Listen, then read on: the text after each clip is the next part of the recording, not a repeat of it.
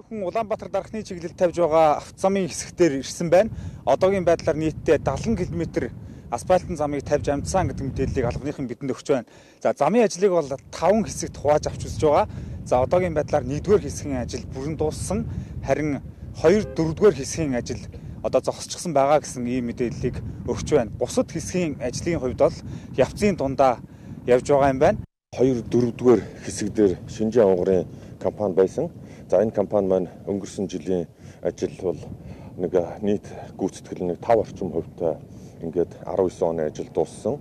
За 20 онд энэ ажлаа үргэлжлүүлэх гэрээтэй байсан боловч энэ компани бол инженер техник ажилчдаа Монголд оруулж ирээгүй. А гүйцэтгэсэн ажлын тоо хэмжээг бол гаргаж байна. Ингээд тоо хэмжээ гараа дуусгах дээр бид нэр энэ тендер цуцлагдсан асуудлын процессын ажил бол дуусах юм байгаа.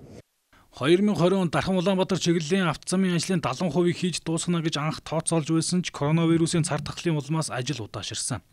Хэдийгээр компаниуд 8 дугаар сарын сүүлчээр ажиллаа эхэлсэн ч багцныг буюу Улаанбаатар хотоос баруун аймагуд руу салах уулзраас хар модод давааны ар хүртэлх 37 км автозамын асфальтыг бүрэн тавьж дуусгаад байна.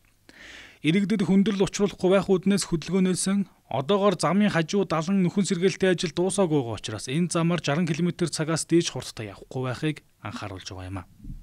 Алангийн ажил руу дотоодын гүйс одоо компаниудыг оруулсан. А дээрэс нь манай Баянчинд манай за Дархан Адзаагийнхан гараад 2 4-р хэсгээр бол хуучин хуулааг байсан асфальтын замын нөхөөсүүдээ хийсэн.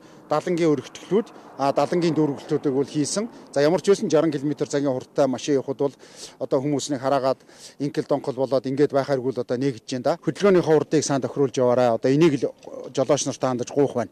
Бид нар манай замын хөдөлгөөнийхэн бол цагдаагийнхантай ярилцж хагаад ер нь 60 км цагийн хурд бол энэ дээд хурдын зам дээр одоо явж болох юм нөхцөлтэйгээр замаа нээж байгаа юм. За та бүхэн анзаарсан байх дархны чиглэлд бол дөрвөн игнэ зам тавихаар болсон. Одоогийн байдлаар бол хоёр игнэ зам нь явчихсан байгаа. Тэгэхээр энэ ондоо багтаад за энэ хоёр игнэ замаа ямар ч хэвсэн дуусгаад эх оноос санхүүжилт нь ороод ирэнгүүт дараагийн хоёр игнэг энэ хоёр талд нэмээд тавина гэдэг ийм мэдээллийг өгч байна.